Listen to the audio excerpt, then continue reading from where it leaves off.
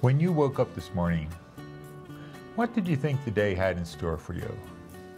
Yesterday, my plan was to go to the post office, mail a package, come back home, work on the video about the Lord's Supper, spend a couple hours grading and finishing off a course on the parables that I just taught for Fuller Theological Seminary.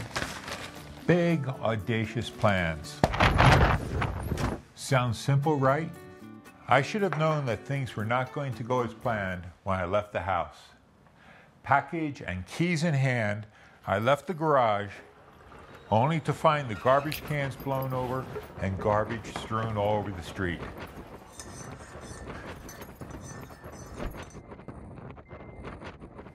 And as I was on the way to the post office, I had to stop and get some shots of wind blowing flags along the sides of the street.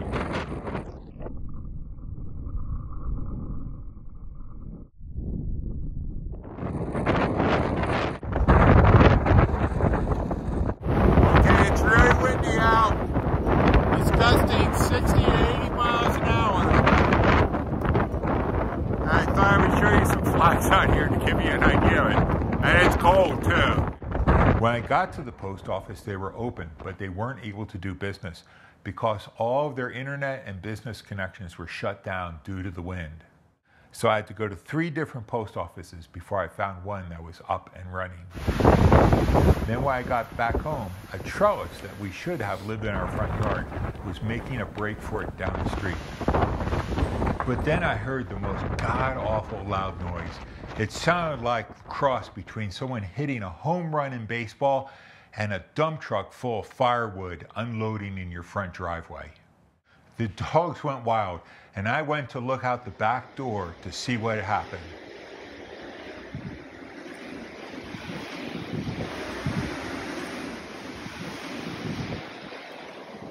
One of our mature pines snapped right in half. This windstorm had winds over 100 miles an hour on our wind gauge. I said, holy moly, that thing is huge. You should see the trees on people's houses down in down in all the Old North End. The whole north end. Huge. Trees like this laying on top of these little houses. Uh,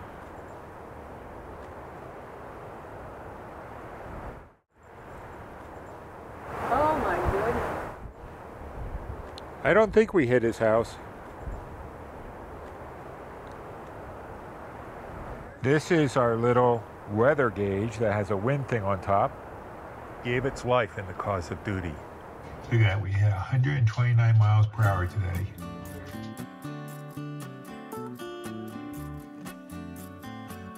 It took a straight shot at our house.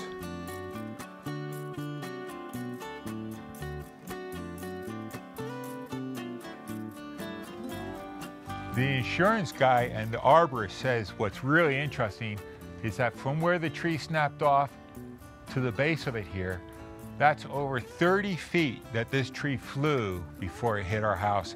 He said normally when they snap off like that, they just came down. But the high winds probably blew it through the air like a sail. Things like a good 15 to 20 feet off the ground still. I can't even get it close to touch or measure it. It's massive.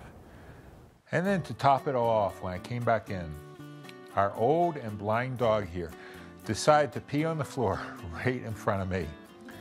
Now, in all fairness to her, she doesn't know where you're at or who's in front of her, but it was just the proverbial icing on the cake.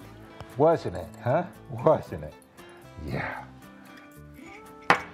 Well, I just spent the past few hours and most of yesterday also calling insurance companies, fence people, arborists, having the insurance guy come out. He just got off our roof and left now, getting bids on fixing our house. The fence guy itself said he's not going to be able to do anything until probably middle of March because he's received a god awful number of phone calls since yesterday about fences being blown down in the area here. This means that the video I had planned on the Lord's Supper is going to have to wait until next week because I've gotten no work done on that for the past two days. Hopefully in that video I can also include an update about what's going on with the back of our house, that tree out there and the fences and stuff like that. Yup, you wake up that day and you think, I'm gonna do this, this, and this. But you never know what a day is gonna hold in store for you. We make our plans as best as we can, but then we need to entrust them to God. Until next week, when hopefully I've got some good news on updates and repairs for you, I shall leave you with the word peace.